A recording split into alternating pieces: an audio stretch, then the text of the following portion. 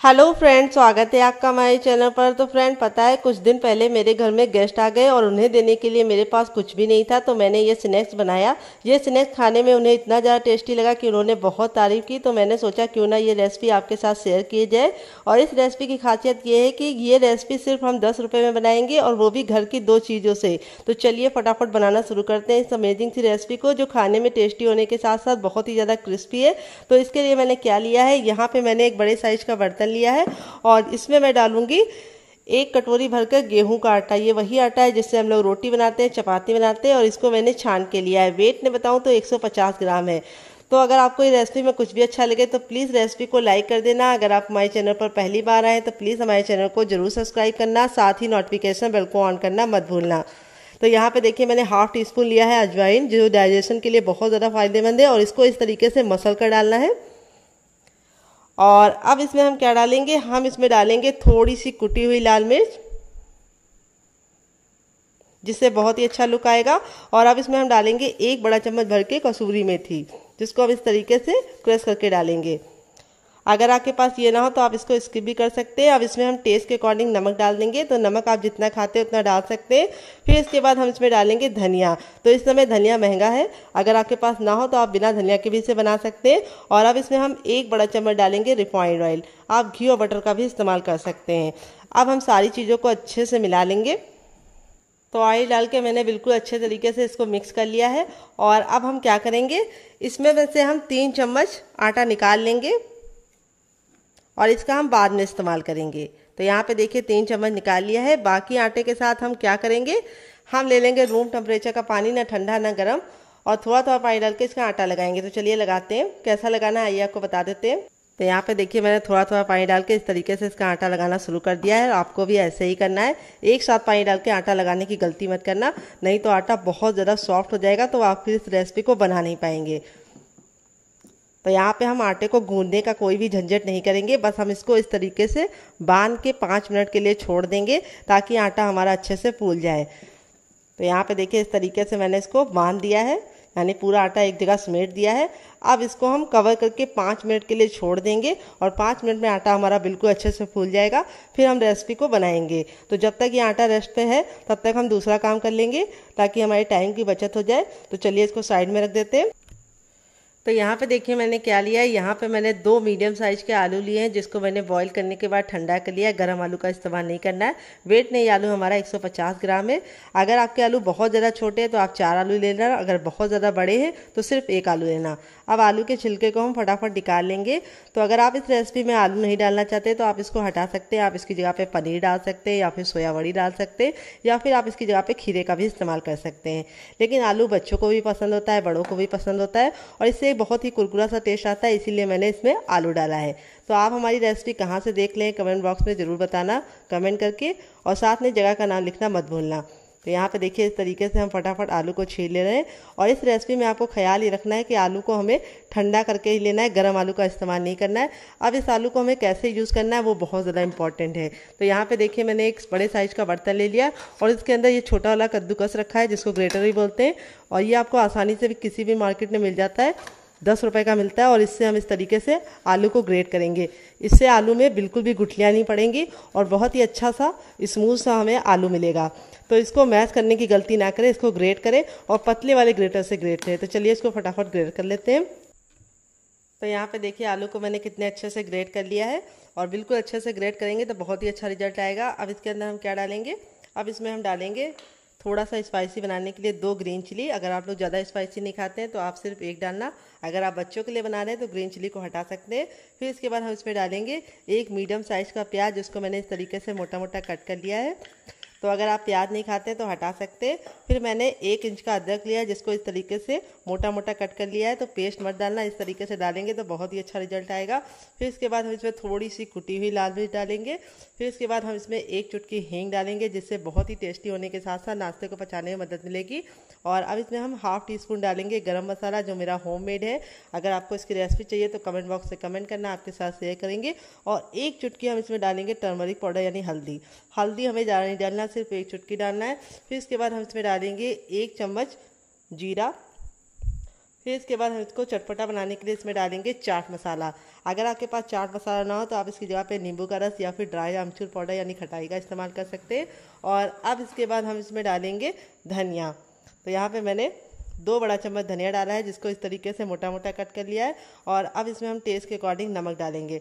तो नमक आप जितना चाहे उतना डाल सकते हैं अपने टेस्ट के अकॉर्डिंग कुछ लोग तेज़ खाते हैं, कुछ लोग बहुत ज़्यादा लो खाते हैं और अब इसमें हम थोड़ी सी सौंफ डाल देंगे, जिससे बहुत ही अच्छी सी स्वीटनेस आएगी और बहुत ही अच्छा सा टेस्ट निकल कर आएगा।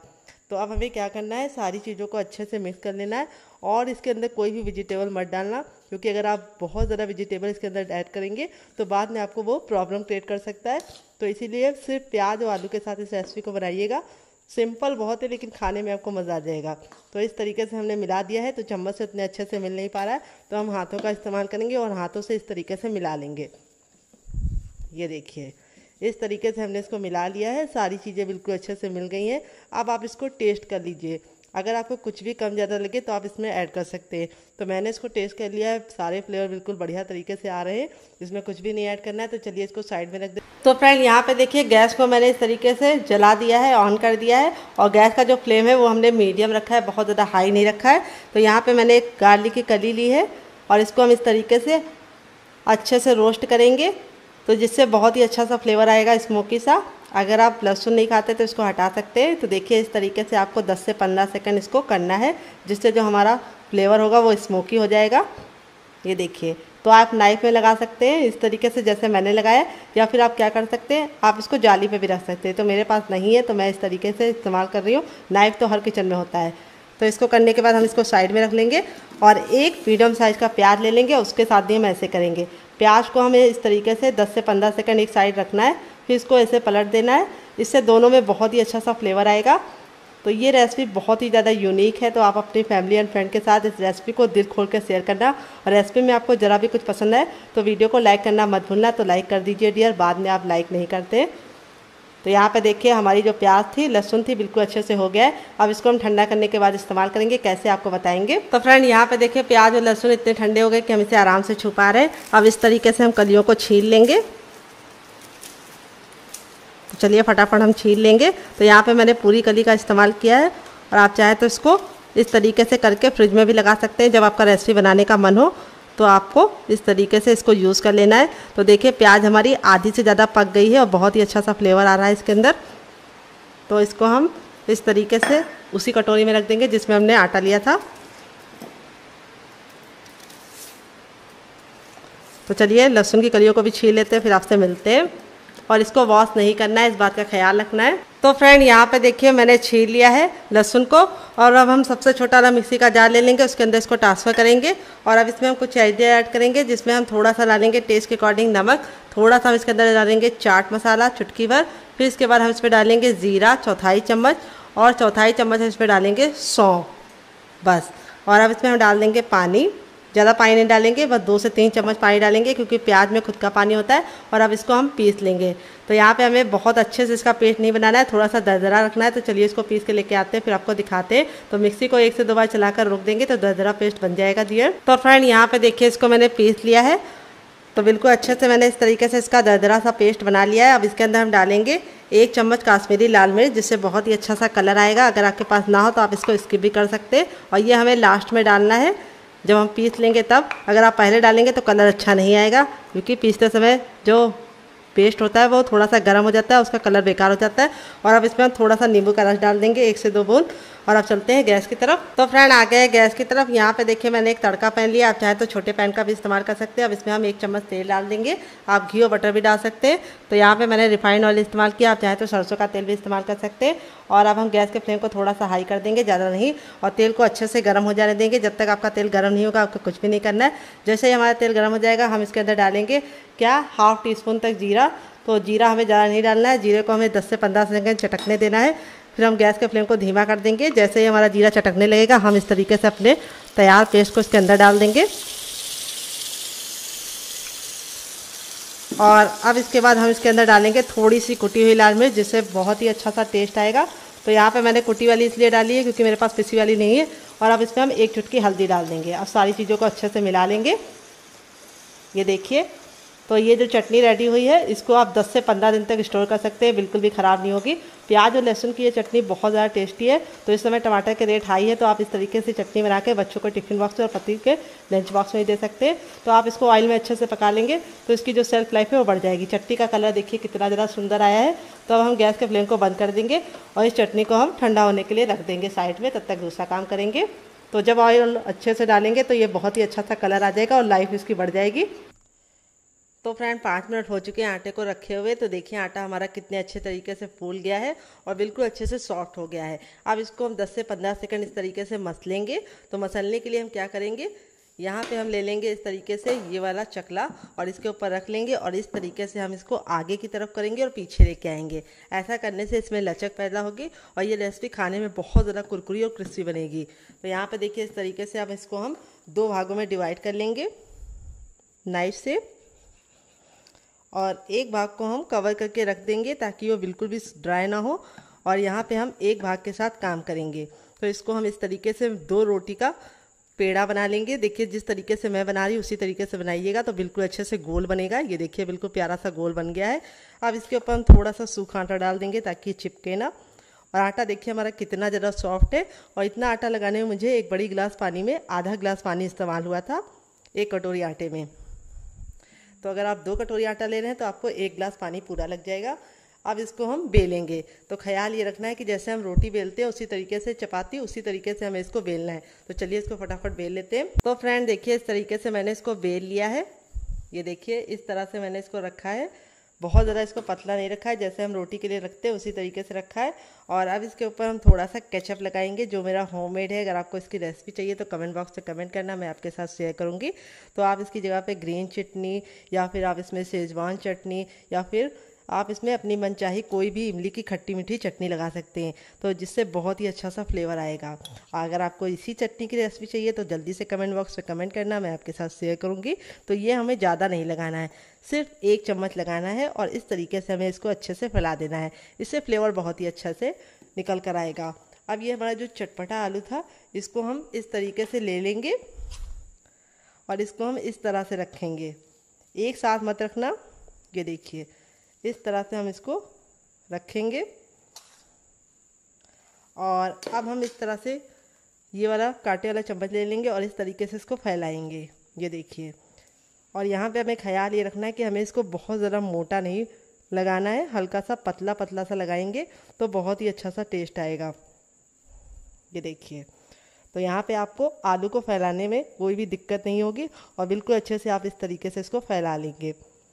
तो इसीलिए मैंने बोला था, इसमें और वेजिटेबल मत ऐड करना।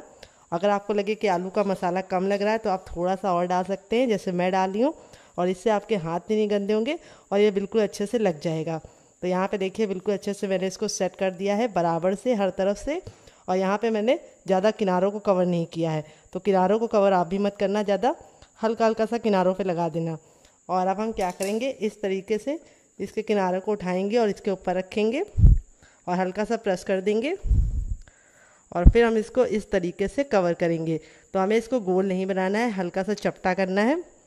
अगर आपको लगे कि आप नहीं उठा पा रहे तो आप इस तरीके से साइडों को इस तरह से नाइफ से कर लीजिएगा, जिससे ये आसानी से छोड़ देगा, क्योंकि आटा हमारा सॉफ्ट है। ये देखिए, और लास्ट वाला हम इसके ऊपर इस तरह से चिपका देंगे। और अब हम हल्का सा इस तरीके से इसको प्रेस करेंगे, ताकि जो हमारा मसाला है, वो बिल्कुल अच्छे से इसके ऊपर चिपक जाए। और अब इसकी हम कटिंग कर लेंगे। तो ये जो साइड वाला हिस्सा होता है, इसको हम निकाल लेंगे। ये देखिए। और इसको कट करते समय आपको ख्याल ये रखना है कि आपको इसको पकड़ के इस तरीके से कट करना है। और इसको एक एक इंच की दूरी पर इस तरीके से कट करना है। बहुत ही आसान रेसिपी है, जितनी ज़्यादा आसान है। बनाने में, खाने में उससे ज़्यादा टेस्टी है। और इसके सामने आप समोसा और कचौड़ी को भूल जाएँगे। तो देखिए, इस तरीके से मैंने इसको कट कर लिया है। तो जो हमारा बचा हुआ था, उसको भी हम इस तरीके से बना लेंगे। और फिर आपसे मिलते हैं। ये देखिए, इतना रखना है इसको। तो चलिए, बना लेते हैं फटाफट। तो तो फ्रेंड, देखिए, इस तरीके से मैंने सारा बना लिया अब इसको हम साइड में रख देंगे। यहाँ पे जो आटा हमने निकाल के रखा था, उसके साथ अब हम काम करेंगे। तो अब हम इसमें थोड़ा सा पानी ऐड करेंगे। एक साथ पानी नहीं डालना है थोड़ा सा पानी डालेंगे और इसको इस तरीके से घोल को अच्छे से मिला लेंगे। यानी इसका घोल बना लेंगे। तो पहले हमें थोड़ा सा पानी इसलिए डालना है ताकि इसमें गुठलियाँ ना पड़े, लम्स ना पड़े और इस तरीके से आपको इसको लम्स फ्री बनाना है। तो यहाँ पे देखिए, इस तरीके से हम फिर से पानी ऐड करेंगे। तो दो बार में, तीन बार में पानी ऐड करना, एक बार में मत ऐड करना। और यहाँ पे हमें जो इसका घोल बनाना है, बहुत ज़्यादा पतला नहीं होना चाहिए थोड़ा सा थिक ही बनाना है। तो यहाँ पे देखिए मैंने एक छोटा गिलास पानी लिया था, जिसका मैंने तीन हिस्सा इस्तेमाल कर लिया और एक हिस्सा हमारा बच गया है और इस तरीके से हम इसको अच्छे से मिक्स कर लेंगे। और अब इसमें हम कुछ चीज़ें ऐड करेंगे तो क्या आइए आपको बताते हैं। अब इसमें हम डालेंगे एक बड़ा चम्मच सफ़ेद तिल जिससे नाश्ते को बहुत ही सुंदर सा लुक भी मिलेगा और ये बहुत ही ज़्यादा फ़ायदेमंद होता है। इसमें हमारा कैल्शियम पाया जाता है, जो हड्डियों की मजबूती के लिए बहुत ज़्यादा लाभकारी है। तो ये हेल्दी भी है और नाश्ते को बहुत ही सुंदर सा लुक देगा। तो अगर आपके पास सफ़ेद तिल ना हो तो आप इसकी जगह पे काला तिल ऐड कर सकते हैं या फिर मगरैल डाल सकते हैं। अगर वो भी ना हो तो आप इसको स्किप भी कर सकते हैं। अब इसमें हम थोड़ा सा हरा धनिया डाल देंगे, जिसको हमने इस तरीके से मोटा मोटा कट कर लिया है और इससे बहुत ही अच्छा सा लुक आएगा। तो सारी चीज़ें हो गई रेडी अब चलते हैं बनाने के प्रोसेस की तरफ़। तो फ्रेंड आ गए गैस की तरफ़। यहाँ पे देखिए मैंने एक पैन लिया, आप चाहे तो कढ़ाई भी ले सकते हैं, जो भी बर्तन लीजिए पैन या कढ़ाई थोड़ा सा फैला हुआ लेंगे तो इससे आपके दो फ़ायदे होंगे, एक तो कम तेल में बना लेंगे, और दूसरी बात, आप इसे एक बार में बहुत सारे बना पाएँगे। अब ये जो हमारा घोल हमने रेडी किया था, मैं आपको दिखा देती हूँ साइड में, इसको हम इस तरीके से मिक्स कर लेंगे, और अपना तैयार नाश्ते को इसके अंदर डालेंगे। और इस तरीके से हम इसको कोट कर लेंगे। तो इस रेसिपी में आपको हाथ लगाने की भी ज़रूरत नहीं पड़ेगी, आप इसे चम्मच से इस तरीके से बना पाएँगे। तो तेल को बिल्कुल अच्छे से गर्म कर लेना है, जब तक आपका तेल गर्म नहीं होगा, आपको नहीं डालना है। तो यहाँ पे देखिए, तेल अच्छे से गर्म हो गया, इस तरीके से चेक करेंगे। हथेली को थोड़ा सा ऊपर रखेंगे, अगर आपको गर्माहट महसूस हो रही है तो समझ जाइए, तेल गर्म हो चुका है। तो गर्माहट महसूस हो रही है, अब हम क्या करेंगे, गैस के फ्लेम को मीडियम कर देंगे और मीडियम फ्लेम पे इस तरीके से अपने नाश्ते को डालते जाएँगे। तो देखिए, एक हाथ से इस तरीके से डालना है और चम्मच से इस तरह से चारों तरफ़ इसको घुमा लेना है और फिर हमें इस तरह से इसको रख लेना है। ये देखिए, बहुत ही आसान रेसिपी है और आप इसे एक बार बनाकर पूरे महीने स्टोर कर सकते हैं और फैमिली एंड फ्रेंड को सर्व करने के साथ साथ आप इसे बच्चों के टिफ़िन बॉक्स में और पति के लंच बॉक्स में भी दे सकते हैं। जितनी ज़्यादा बनाने में आसान है, खाने में उससे ज़्यादा टेस्टी है और बाहर के समोसे और कचौड़ी से तो बहुत ज़्यादा हेल्दी है क्योंकि हम इसे घर में तैयार कर रहे हैं। तो हमें पता है कि हम इसे किस तेल में तैयार कर रहे हैं। मार्केट में जो तेल होता है, वो बार बार यूज़ किया जाता है और वो जहर का काम करता है, वो हेल्दी नहीं होता है। तो इस तरीके से आप इसको बनाइए। गैस का फ्लेम बस मीडियम रखिएगा हाई फ्लेम पे इसको मत बनाइएगा, नहीं तो क्या होगा कि ये अंदर से कच्चे रह जाएँगे और कुरकुरे नहीं बनेंगे। अगर लो फ्लेम पे पकाएँगे तो ये ऑयली बन जाएँगे। तो यहाँ पे देखिए, एक बार में आप जितना चाहे उतना डाल सकते हैं, अगर आपका पैन बड़ा होगा तो। तो यहाँ पे देखिए, इस तरीके से मैं डाल रही हूँ। उसी तरीके से आपको भी डालना है। रेसिपी बहुत ज़्यादा यूनिक होने के साथ साथ काफ़ी ज़्यादा इजी है। तो आप इस रेसिपी को कब बना रहे हैं, कमेंट बॉक्स में ज़रूर लिखिएगा। और ये रेसिपी अगर आपको ज़रा भी पसंद आ रही है तो प्लीज़ प्लीज़ मेरे चैनल को सब्सक्राइब कर लीजिए और साथ ही वीडियो को फैमिली एंड फ्रेंड के साथ दिल खोल के शेयर कर दीजिए। तो यहाँ पे देखिए मैंने डाल दिया, अब इसको हम दो मिनट पकने देंगे और दो मिनट के बाद इसको टर्न करेंगे। तो फ्रेंड दो मिनट हो चुका है इसको मीडियम फ्लेम पे पकते हुए। चलिए इसको टर्न कर देते ये देखिए प्यारा सा गोल्डन सा कलर आ चुका है, बिल्कुल लाइट सा। तो अब इसको हम इस तरीके से नाइफ से या फिर छोटे चम्मच के पीछे वाले भाग से आप इसको इस तरीके से पलट दीजिएगा। ताकि ये दोनों ही साइड से बिल्कुल अच्छा सा क्रिस्पी बनकर तैयार हो, ये देखिए। और ये बनने में बहुत ही आसान रेसिपी और खाने में बहुत ज़्यादा मज़ेदार है तो आप एक बार मेरे कहने पे इसे ज़रूर बना कर देखिएगा। तो यहाँ पे देखिए, इस तरीके से पलट दिया है। अब इसे दूसरे साइड भी दो मिनट पकाएँगे। बस ख्याल ये रखना है कि इसे हमें हाई फ्लेम पर नहीं पकाना है। अगर हाई फ्लेम पर पकाएँगे तो ये क्रिस्पी नहीं बनेंगे लो फ्लेम पर पकाएँगे तो ये बहुत ज़्यादा ऑयली बनेंगे। तो स्टफिंग बिल्कुल भी बाहर नहीं आएगी, क्योंकि हमने जो घोल लगाया है वो स्टफिंग को अंदर ही रखेगा। और इसको बनने में ज़्यादा टाइम नहीं लगता क्योंकि आलू का मसाला हमारा पहले से ही पका हुआ है तो चलिए इसको दो मिनट के बाद चेक करेंगे। तो फ्रेंड, दो मिनट हो चुका है इसको पकते हुए, ये बिल्कुल अच्छे से क्रिस्पी हो चुके हैं। अब हम क्या करेंगे, ये अंदर तक हो गए, अब इसको हम इस तरीके से अलटते पलटते हुए 10 सेकंड हाई फ्लेम पे पका लेंगे, ताकि ये और ज़्यादा क्रिस्पी हो जाए और बहुत ही प्यारा सा डार्क सा कलर आ जाए। तो मैं इसको बहुत ज़्यादा लाल नहीं करूँगी, मैं इसको हल्का सा गोल्डन कलर का रखूँगी, आप चाहें तो इसको बहुत ज़्यादा लाल कर सकते लेकिन फिर वो देखने में अच्छा नहीं लगेगा। तो कोई चीज़ जब देखने में अच्छी नहीं लगती तो उसको खिलाने में थोड़ा सा इफ़ेक्ट करना पड़ता है। और इस तरीके से बनाएँगे तो बच्चे क्या बड़े भी इसे मांग के खाएँगे। ये देखिए, कितना ज़रा सुंदर लग रहा है। और इसको हम डायरेक्ट इस तरीके से छन्ने में निकालेंगे, ताकि जो एक्स्ट्रा ऑयल है, वो वापस इसी में चला जाए। और जितना ज़्यादा देखने में खूबसूरत लग रहा है, अभी मैं आपको तोड़ कर दिखाऊँगी, उतना ज़्यादा ये क्रिस्पी बना है। तो दोबारा बनाने के लिए हमें क्या करना है, तेल को फिर से गर्म कर लेना है। और जब तक आपका तेल गर्म ना हो, आपको नहीं डालना है, इस बात का ख्याल रखना है। और इस तरीके से छन्ने में निकालेंगे तो जो एक्स्ट्रा ऑयल होगा वो भी निकल जाएगा और ये बहुत ही मज़ेदार सा बनकर रेडी हो जाएगा। ये देखिए। तो इसको हम इस तरीके से साइड में रखेंगे थोड़ी देर ताकि एक्स्ट्रा ऑयल वापस चला जाए। अब हमारा तेल फिर से गर्म हो चुका है तो जो हमारा बचा हुआ था उसको भी हम बना लेंगे। तो इस तरीके से हम गोल में डालेंगे और सेम पहले वाले की तरह हमें बाकी बना लेना है। तो चलिए बना लेते हैं, फिर आपसे मिलते हैं। तो फ्रेंड, बनकर रेडी हो चुका है हमारा चटपटा सा, कुरकुरा सा करारा सा नाश्ता। देख लीजिए इसका फाइनल रिज़ल्ट कितना ज़रा खूबसूरत लग रहा है, जितना ज़रा देखने में खूबसूरत लग रहा है, खाने में से ज़रा क्रिस्पी है। और सारे ही हमारे इसी तरीके से क्रिस्पी बने हैं और बिल्कुल भी ऑयली नहीं है। ये देखिए मैं इस तरीके से प्रेस कर रही हूँ तो बिल्कुल भी हथेलियों पे ऑयल नज़र नहीं आ रहा है, क्योंकि बिल्कुल भी ऑयल इसके अंदर नहीं जाता है। जो घोल बनाया था, वो इसको ऑयल को जाने से रोकता है। और मैं आपको तोड़ के दिखाती हूँ, अंदर से कितना ज़रा सॉफ्ट है और कितने अच्छे से कुक हुआ है। इसे मैंने सर्व किया है केचप के साथ। अगर आपको होममेड केचप की रेसिपी चाहिए तो कमेंट बॉक्स में कमेंट करना, मैं आपके साथ शेयर करूँगी। और आप इसे ग्रीन चटनी के साथ, मोमोज चटनी के साथ, चाय के साथ या फिर ऐसे भी खा सकते हैं। ये रेसिपी जितनी ज़्यादा बनाने में आसान है, खाने में ज़्यादा टेस्टी है तो आप इस रेसिपी को बच्चे को टिफ़िन बॉक्स में और पति के लंच बॉक्स में दे सकते हैं और चाय के साथ भी इंजॉय कर सकते हैं। तो चलिए, मुझसे तो वेट नहीं हो रहा है, मैं जा रही हूँ इन्जॉय करने। अगर आपको रेसिपी में कुछ भी अच्छा लगे तो प्लीज़ रेसिपी को एक लाइक ज़रूर करना। अगर आप हमारे चैनल पर पहली बार आएँ तो हमारे चैनल को ज़रूर सब्सक्राइब करना। साथ ही नोटिफिकेशन वर्क ऑन करना ताकि जैसे ही वीडियो अपलोड करूँ, आपको नोटिफिकेशन मिल पाए सबसे पहले और आप हमारी आसान रेसिपी का फ़ायदा उठा पाएँ सबसे पहले। तो चलिए मिलते हैं नेक्स्ट वीडियो में। तब तक अपना ख्याल रखिए। Love you all bye take care